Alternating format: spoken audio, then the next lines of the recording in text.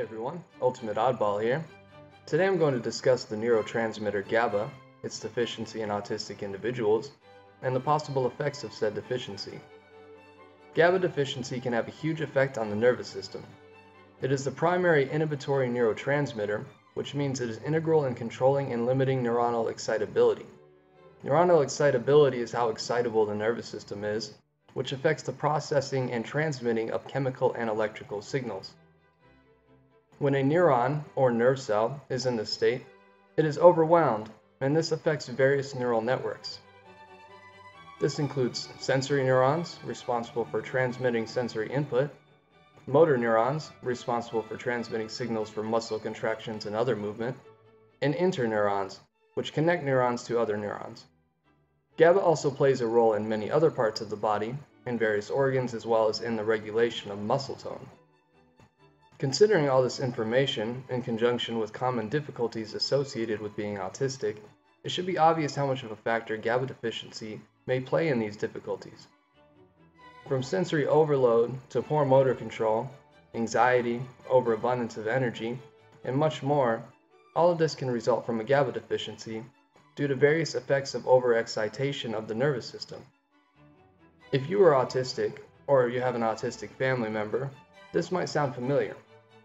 Studies have shown GABA deficiency is common in various conditions, including epilepsy and autism. It is because of this that GABA increasing drugs are considered a likely potential therapeutic tool to help alleviate some of the symptoms that can come with being autistic. Based on this, you might be saying to yourself, well, I should just go out and get some GABA supplements from the store, right? I don't think that's a good idea though.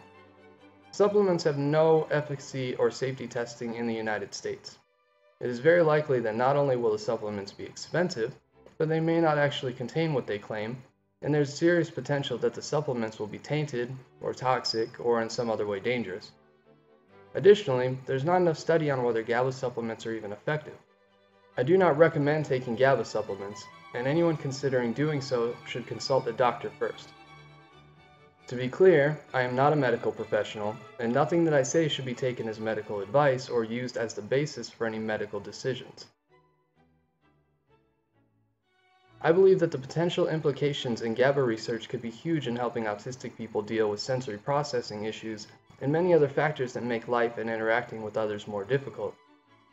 More focus needs to be put into researching these therapies, which can help autistic people, rather than having the vast majority of funding put into finding a way to eradicate autism and thus prevent autistic people from ever being born again. Well, thanks for tuning in and have a great day. Hey everybody, Ultimate Oddball here. If you want to stay up to date with my videos, click subscribe. I release a new video on Monday, Wednesday, and Friday. I do gaming commentary and review.